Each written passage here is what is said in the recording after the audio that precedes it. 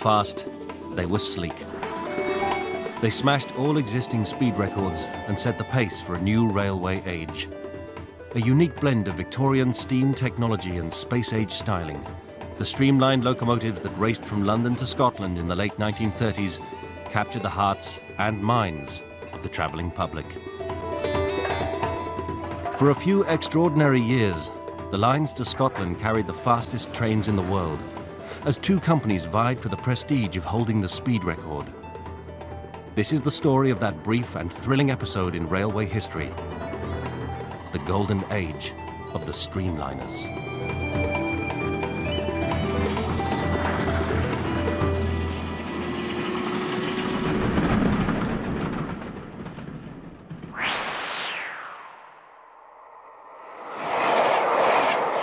Britain's railways are changing, and history is repeating itself. Two companies, Virgin Trains on the west coast and GNER on the east, are battling it out in the race for passengers on the same tracks that once saw the epic contest between the streamliners of the steam age.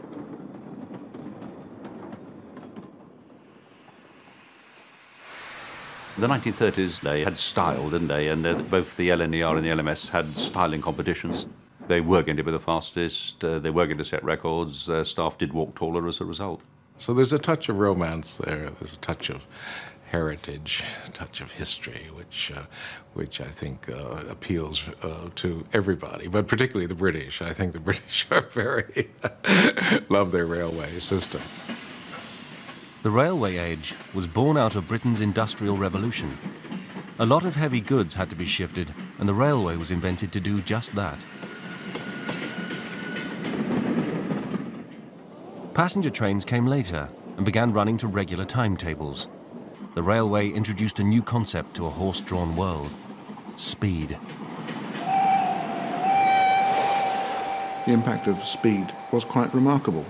The railway, through its timetable and through its very nature of operation, uh, made people aware of minutes for the first time.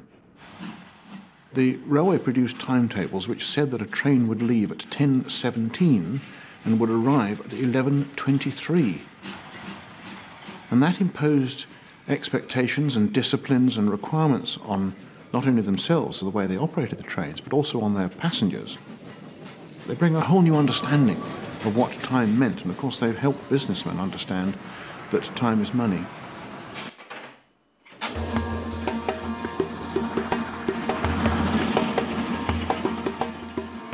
In the 1930s, the railways in the north of Britain were owned by two giant companies. The LMS, or London, Midland and Scottish, ruled on the west coast, while the east coast was LNER territory, the London North Eastern Railway. Both ran between London and Scotland, and both claimed to be the finest railway in the world. Since they couldn't both be right, each had to prove the point by upstaging its rival at every possible opportunity.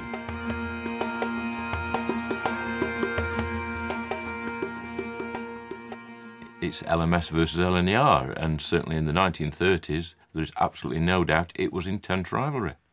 Anything the other one could do to pull a fast one uh, and have one over the other side was done without any doubt at all. Your railway system was always better than the other. So obviously it was a BME bonnet that I was an LMS man. And of course, the only other one that existed as far as we were concerned was the London North Eastern. It was their railway, was the LNER, London North Eastern Railway Company. To me, that, uh, you know, you, you were always proud of the company you worked for. We used to get North Eastern men coming into Liverpool, York men particularly, used to come in and they'd be talking about our A6s are better than yours and this, that and the other. But a North Eastern man was taught to think for himself, you see, and that's what they didn't like. But having said that, whenever there was any foreman's vacancies and that on, on LNER, by God, Midland men were always putting in for them. They knew best company was to work for. They ran on separate routes to different destinations, and the rivalry was more about prestige than territory, but it was good for business. It was in everyone's interest in the individual companies to fly their flag, to be the best, the fastest, the biggest, the most powerful, the best service, the most famous train. it all developed into the rivalry between the two companies. And this has never gone away. It's still there today. The flagship of the LMS on the west coast was the Royal Scot. The 10 a.m. express from London Euston to Glasgow.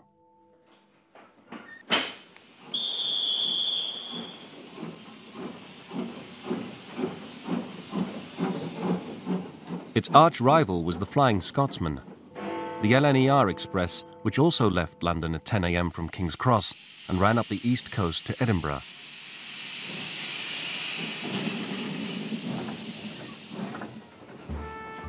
But the Flying Scotsman sounded a lot faster than it actually was. Since the mid 19th century, the railways had enjoyed a virtual monopoly on long distance travel and the LMS and LNER had a long standing, cosy agreement not to compete for speed on the run to Scotland. Trains took a leisurely eight and a quarter hours to cover 400 miles, and the companies saw no need to speed up their services.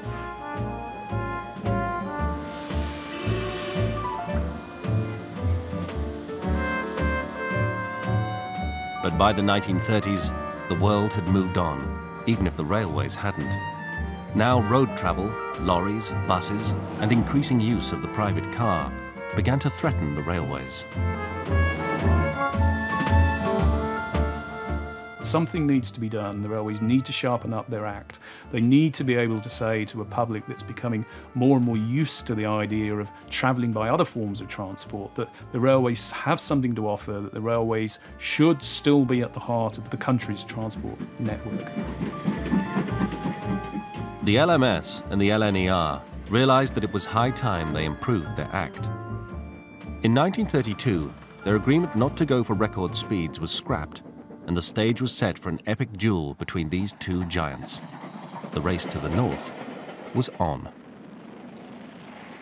The LNER set out to project an image of speed with a series of publicity films. A bizarre three-way contest between a light aircraft a speedboat, and the LNER appeared to show that rail travel was as fast as flying, and going by boat wasn't.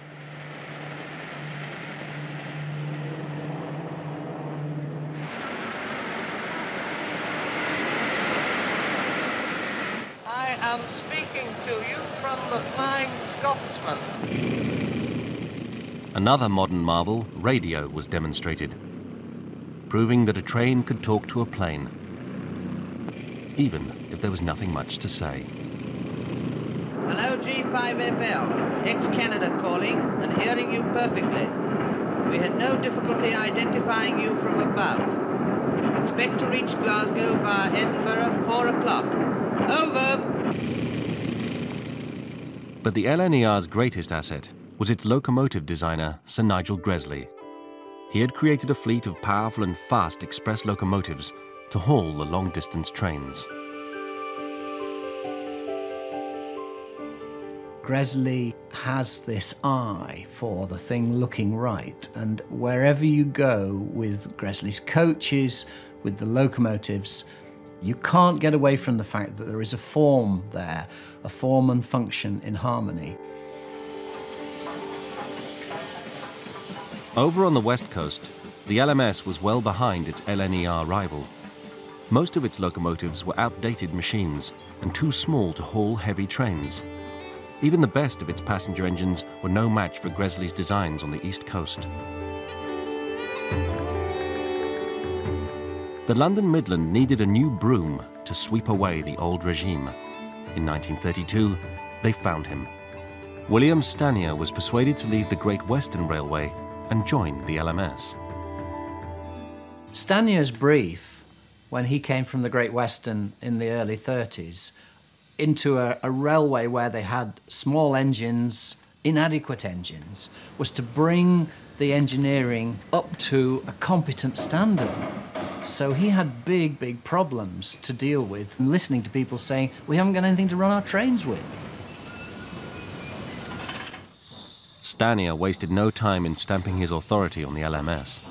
Soon the obsolete locomotives began heading for the scrapyard as new and far better Stanier designs replaced them.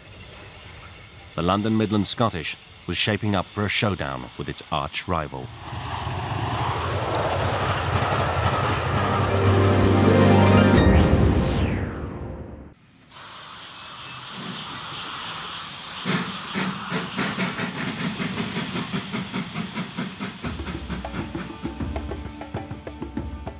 In the 1930s, all Britain's railways relied on the same basic tool, the steam locomotive. It was a machine which had barely changed since 1830. Locomotives got bigger and heavier, but the formula stayed the same.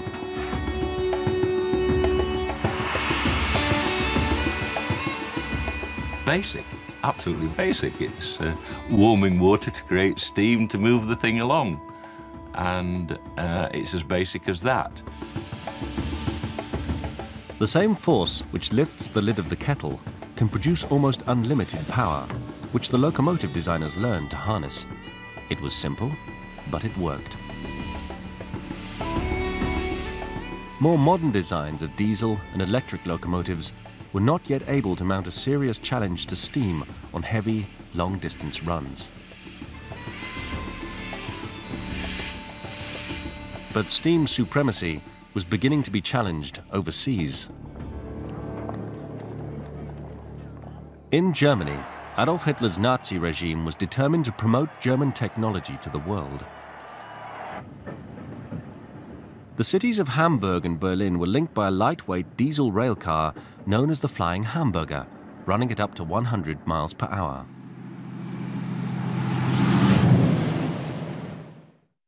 The London North Eastern Railway's chief designer, Nigel Gresley, visited Germany and sampled the ride. And Gresley took the view that although the diesel multiple unit might provide useful service in some circumstances, he was convinced that the slightly more conventional steam train with more facilities on board and hauled by a steam locomotive could do the job at least as well. Steam engines might look old-fashioned, but they were robust and reliable. They were also just as fast as the diesel. In 1934, Gresley's Flying Scotsman locomotive set a new British speed record of exactly 100 miles per hour. He firmly believed that steam was still the future, but saw that it had a growing image problem.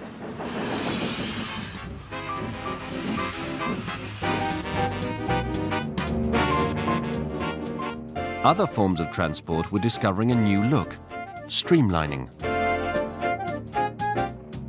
In the air and on the roads, rounded, flowing shapes were replacing sharp angles. Suddenly, everything had to be aerodynamic to look modern. Streamlining was the, all the rage, and everything had to be streamlined, and if you weren't streamlined, you weren't with it. Gresley decided to create an entirely new train for the LNER in the latest fashion. What Gresley had to do was to take the conventional steam locomotive and to encase it in something that would really wow people into thinking this is space age travel. And the Silver Jubilee train, with not just the locomotive sleek and streamlined, but the whole train looked like something out of the space age. After only six months, Gresley and his team had finished the job. And the new train was launched on September the 27th, 1935. It was called the Silver Jubilee. On the 110th anniversary of the opening of the first English railway, the Silver Jubilee, drawn by the streamlined Silver Link, left King's Cross. She is to run regularly between London and Newcastle. Speed, comfort, and a wild modern beauty. It certainly looked the part, streamlined and stylish. But under the aerodynamic casing was a conventional steam locomotive designed to run at high speed. On its first run, the Streamliner soon got into its stride, breaking the 100 miles per hour barrier south of Hitchin. As the mileposts flashed past, the speed never dropped, and even the most hardened news reporters on board were open-mouthed. For over 43 miles, the train averaged more than 100 miles per hour and twice touched 112, a world record. for steam. The LNER felt that there was only one way to launch such a revolutionary train, and that was with a big bang and with the press on board. Here was this new locomotive, barely run in, securing a new record of 112 and a half miles an hour, and putting itself in the record books as the new way to go.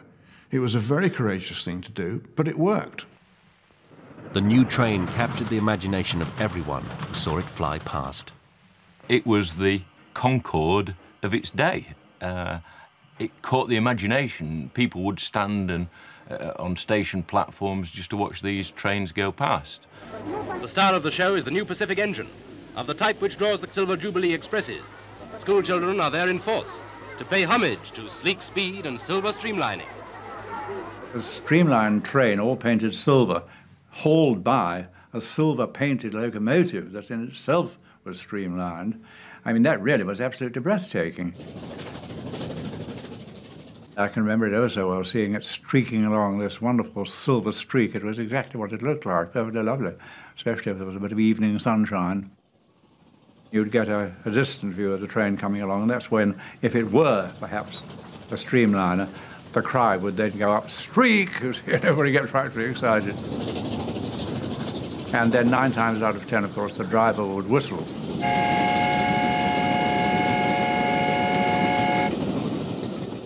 It was absolutely incredible to see. It was extraordinary. Very, very impressive. But the operational problems of running a high-speed service were enormous. In the 1930s, the railway was a crowded and busy place. There were slow-stopping trains that called at every wayside station. Most freight still went by rail, carried by a fleet of one and a half million goods wagons.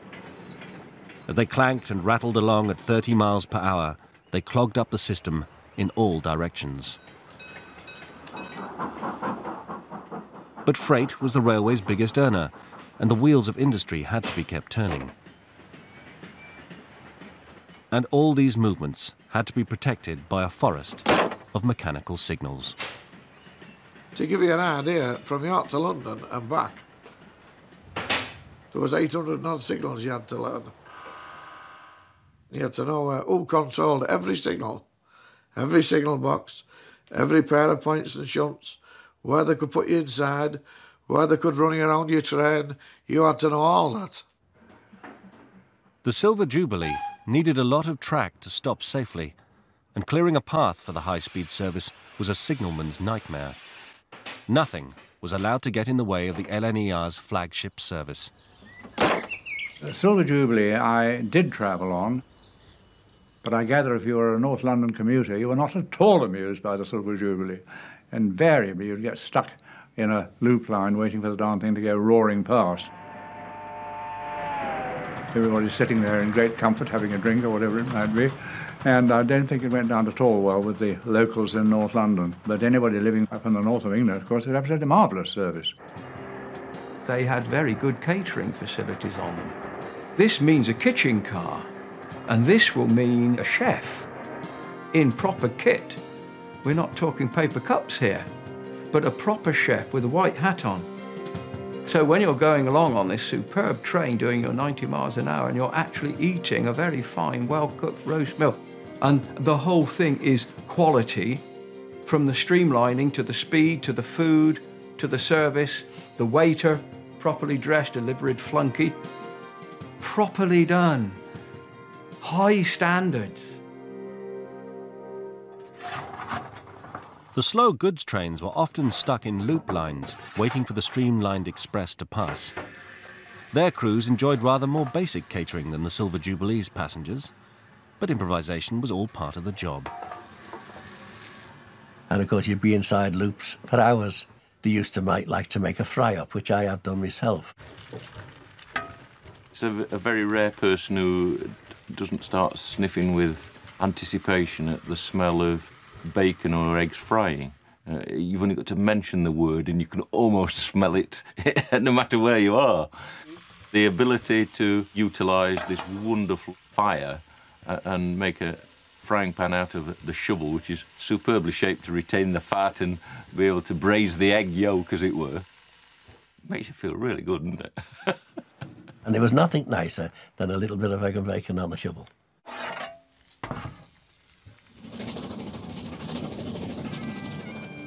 The Silver Jubilee was never designed to run at 100 miles per hour plus in normal service, but it regularly ran at 80 and kept to its tight schedule. The press and the public loved it, and it made a profit. The Silver Jubilee was designed specifically to benefit the Tyneside businessmen. It wasn't a matter for Londoners, it was for the businessmen in the industrial heartland as it was served by the LNER of this country to get to London, to have a meeting, and then to get home again all in the same day. A wonderful example of concentrating on what the passenger wanted. The LNER was clearly winning the race to the north. The LMS rival realized that something had to be done, and done fast.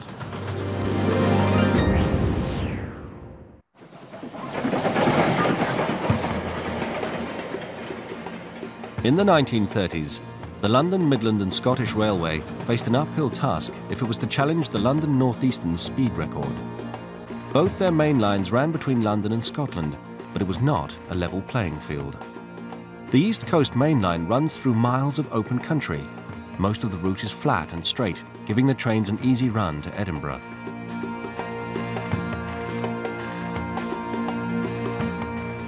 But the West Coast Line passes through the industrial Midlands, then twists and turns as it climbs over the Cumbrian hills at Shap Fell and Beattock in the southern uplands of Scotland, before reaching Glasgow.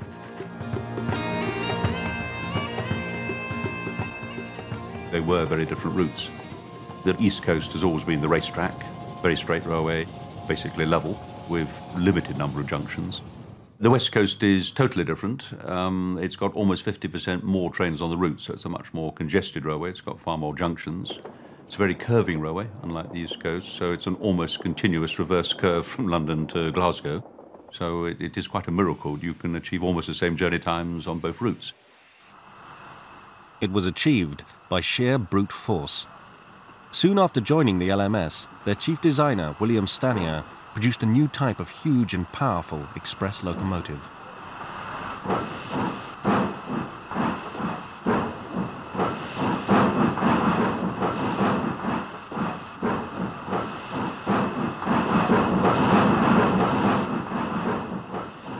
In 1936, number 6201, Princess Elizabeth, set out from Euston to challenge the LNER's lead in the race to the north with a 400 mile non stop run to Glasgow.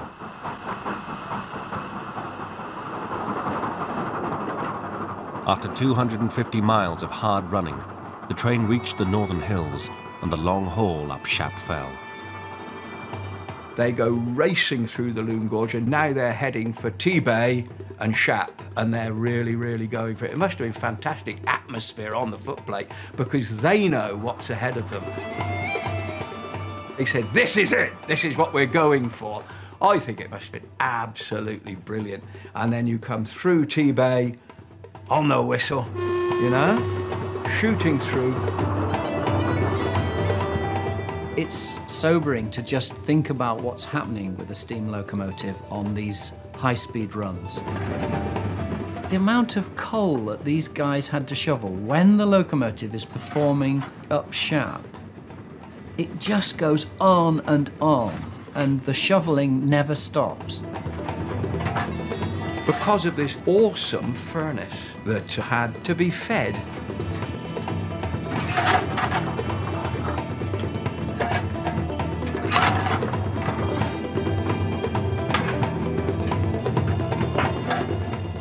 The amount of physical effort required is phenomenal.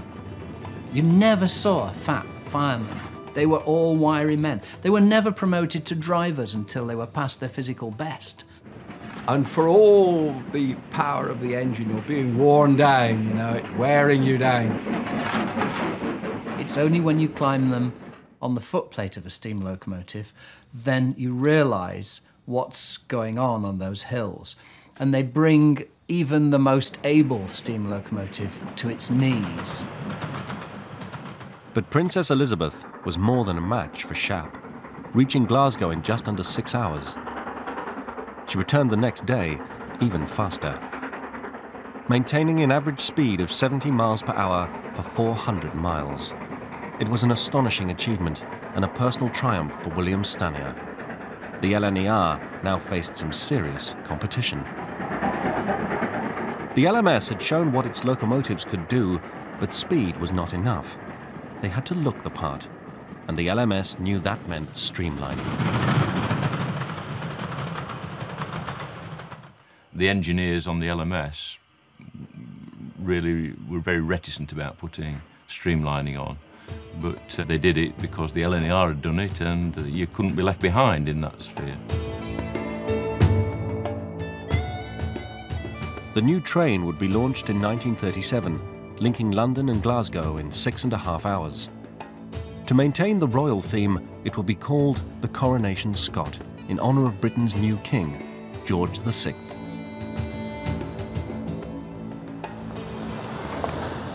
But amid the celebrations, there were other headlines. Adolf Hitler was not only making the trains run on time, he was rearming. There was even talk of a possible war. Britain badly needed some good news, and the railways were determined to mark the coronation in style. The LMS began building its new streamliner. The locomotives, designed by William Stanier, were an even more powerful version of his original design. It's fairly well known that the design team were given the brief, put the biggest set of wheels underneath the biggest boiler to the maximum size loading gauge you can and see what we come up with. What they came up with was Britain's most powerful express locomotive. Officially, they were the Princess Coronation class, but most railwaymen knew them as the Duchesses. In its gleaming blue paintwork, the first locomotive was rolled out of the Crewe works in May 1937 for the benefit of the newsreel cameras. Before an admiring crowd, the Coronation Scot, the LMS contribution to improve travel in Coronation Year, takes her bow. As a debutante, she makes a great impression, her streamlined figure proof of what can be done if a girl wants to be faster than 70 miles an hour. And this is the Duchess. I mean, this, that's the ultimate locomotive. In my mind, there's no doubt about it. The ultimate's got to be a Duchess out of Euston. Fantastic things. And her creator, Mr. Stanier, looks well pleased. In fact, Stanier regarded the streamlining as little more than a marketing gimmick. He knew it made little difference to performance. The Coronation Scot is one of five streamlined locomotives designed to draw the new air-conditioned luxury train, scheduled soon to run between London and Glasgow in six and a half hours. And that's going some.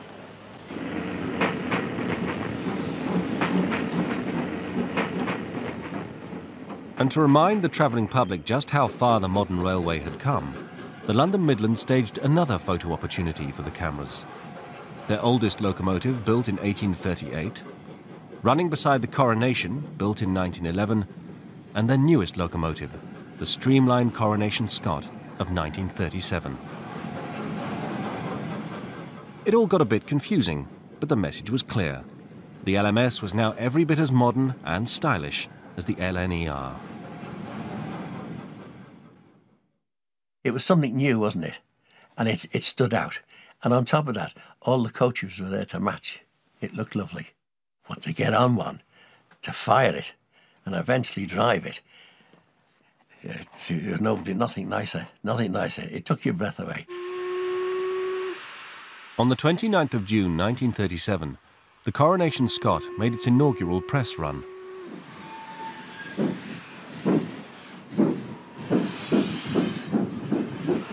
One hundred journalists and railway officials took part in a test run from Euston to Crewe and back that provided such an orgy of speed as has never before been indulged in over LMS metals. It was an orgy they would remember for the rest of their lives. The LMS now set out to beat the speed record on the downhill run into Crewe, but they were taking a big risk. From 85 miles an hour, the speed rose quickly to 100. Faster yet and faster, eating up the miles. 102, 105, 108, and she's still accelerating. Crewe Station and a 25 miles per hour speed limit were fast approaching, but the record was still not in the bag. The rhythm of the exhaust grows stronger, faster. 112.5 miles an hour for two miles, smoothly surging over the metals. A supreme effort, and Coronation has done it. 114 miles an hour, the highest speed yet attained in the Empire. With only two miles left to run, the brakes were slammed on, but the heavy train was going much too fast for safety. As the train shot into the station yard with sparks streaming from its brakes, it was still doing almost 60 miles an hour. As it hit the sharply curving track leading into the platform, the locomotive lurched wildly. It stayed on the track, but only just.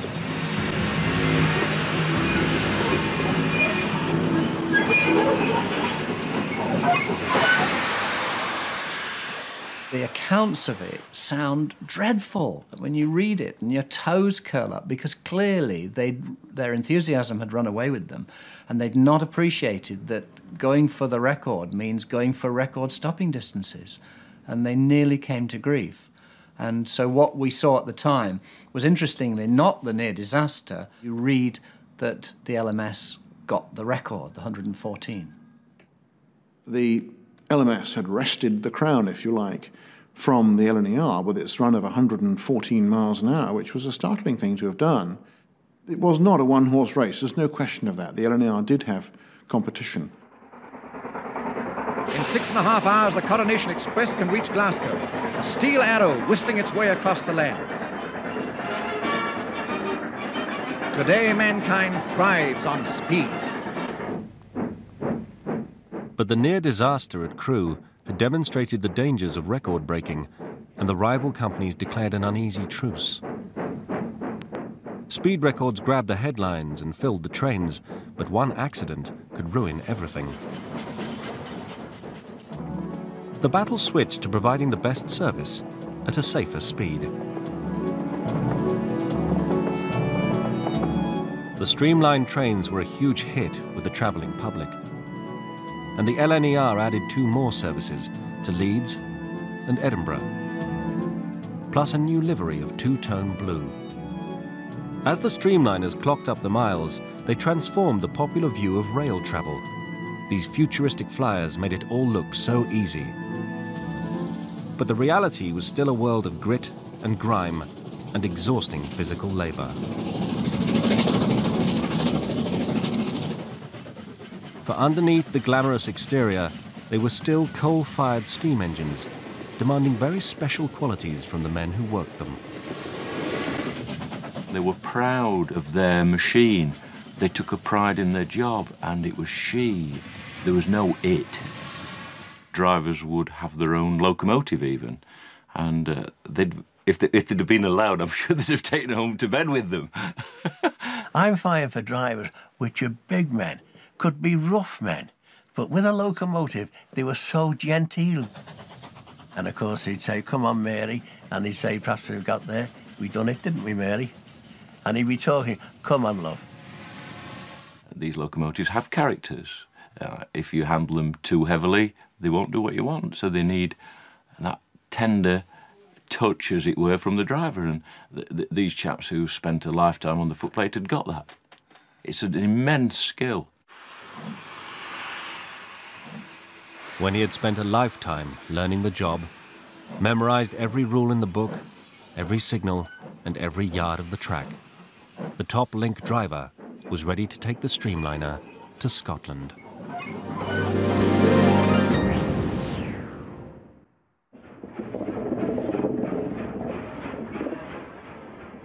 Running the record-breaking streamlined trains of the 1930s was a round-the-clock operation. The preparations for a high-speed run to Scotland began long before the driver got the starting signal. Like the finest thoroughbreds, the streamlined icons of the steam age needed a lot of coaxing into action.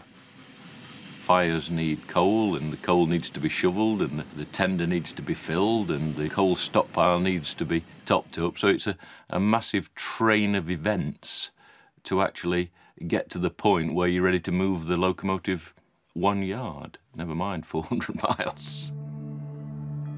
It may have been only a machine, but the express steam locomotive wove a powerful spell on all those who entered its world. There the locomotive stands on the shed in the cold and the dark, and you've got to bring it to life. When you've got 150 tons plus of cold steel and cold water, it's a very cold, inert object.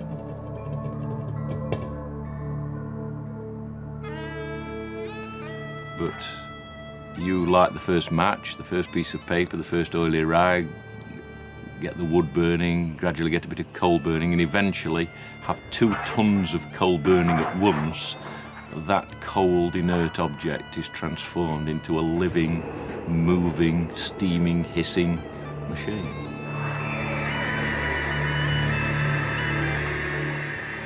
The person that lights the fire brings it to life. It's like waking giant up.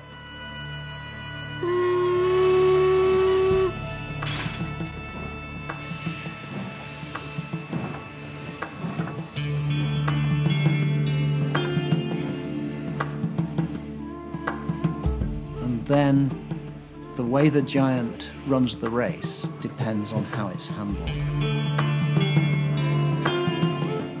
It's a living thing.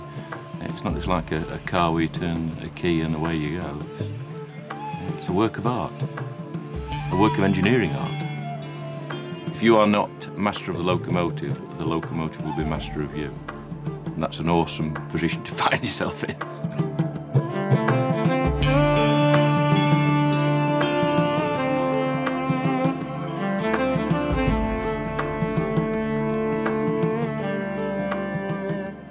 Must never be afraid of a locomotive. You, you mustn't be frightened of them. You must master that machine. You must. And that's the way to look at it.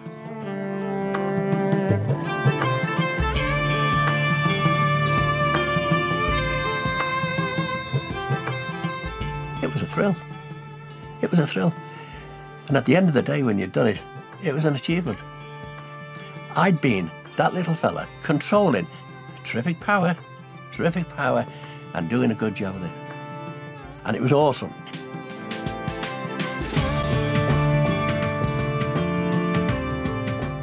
The steam engine is fire. In fact, the steam engine is earth, air, fire, and water. It's elemental.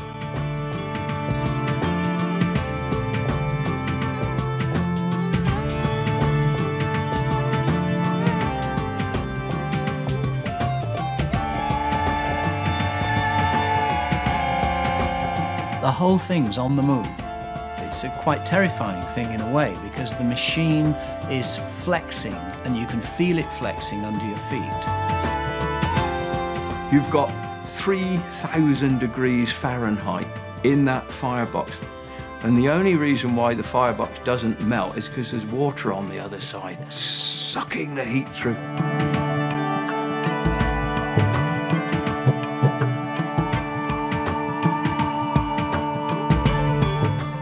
Is nothing more exciting than being on a steam locomotive at speed. Awesome, absolutely awesome. Unlimited power. Absolutely unlimited.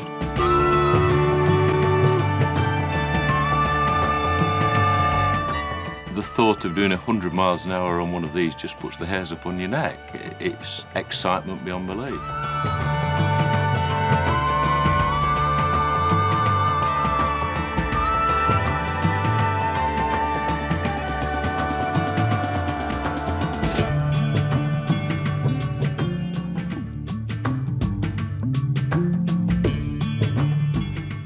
Driver was somebody who everybody looked up to because they knew it was a lifetime's work to get on a principal express of the day. It was equivalent to being a Concorde pilot today. They knew they were good at what they did.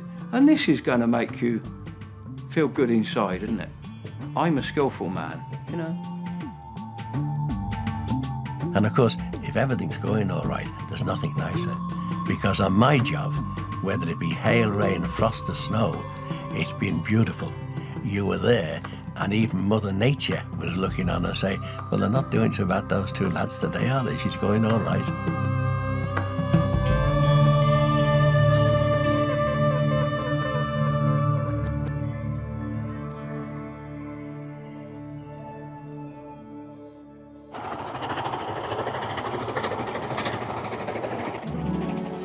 Most of the passengers knew nothing of the heroic battle taking place on the locomotive. They weren't meant to. All they needed to know was that their journey was comfortable and fast, a lot faster and a lot more comfortable than going by road.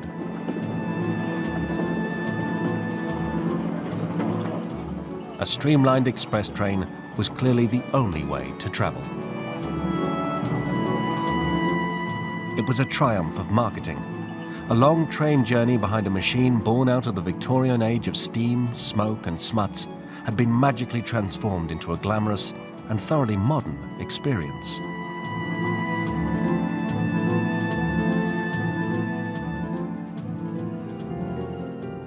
But the old rivalry was still simmering away. On the LNER, Nigel Gresley was building up a head of steam for the next move in the speed contest. Gresley couldn't let the LMS keep the record of 114. It was a matter of corporate pride.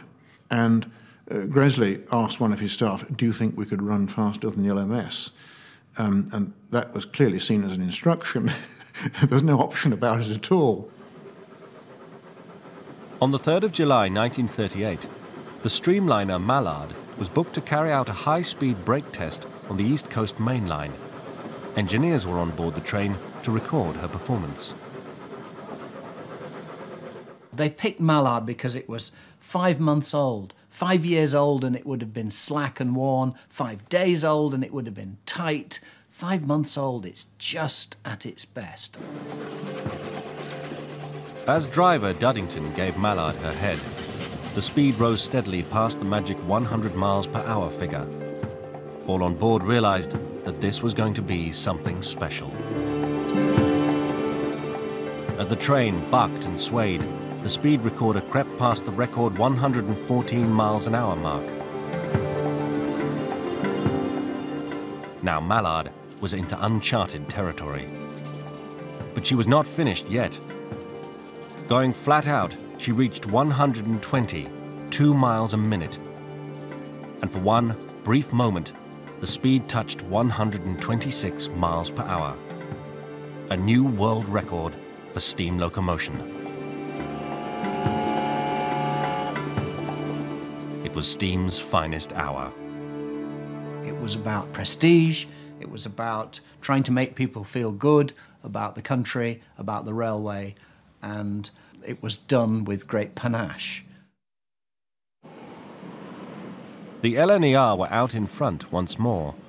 It was time for the LMS to fight back with yet another publicity stunt. The Coronation Scot is the pride of Britain's railways. So today, 100 tons of the finest work of British engineers is en route for a 3,000-mile tour of the US before going on show at the New York World Fair. So here's good luck to the Coronation Scot, off to show them what we can do in the way of modern transport. But in America, the Coronation Scot met the future, and the future was diesel. The British train was much admired, but even the most aerodynamic streamlining couldn't hide the truth. It was a steam locomotive, and in America, steam was fast becoming history. But all thoughts of modernizing Britain's railway system came to an abrupt halt on the 3rd of September 1939 as the railways went to war.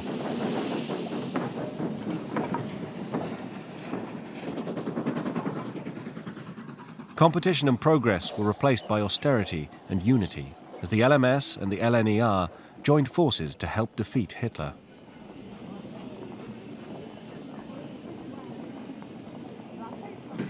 One of the first casualties was luxury travel. The special coaches were put into store, and the streamliners now had to haul whatever was required to help win the war.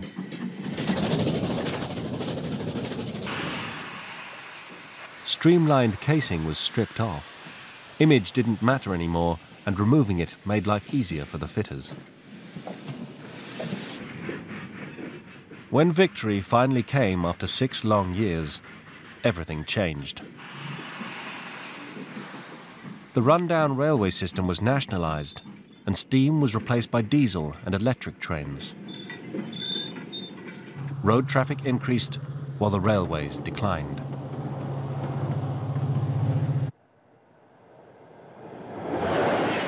Today's basic railway is a shadow of the pre-war network, and the luxury streamliners of the 1930s are a distant memory. But the routes they travelled on still carry some of Britain's fastest trains, and privatisation has reawoken old rivalries. On the east coast, GNER evoked the spirit of the 1930s, keeping alive the name of the Flying Scotsman. The Flying Scotsman did evoke the idea of great speed. We have one service a day which actually does uh, Edinburgh, London in three hours and 59 minutes. And when the old Flying Scotsman was running, you were talking more like six and a half hours. On the west coast, Virgin promotes a futuristic image with the Pendolino tilting train.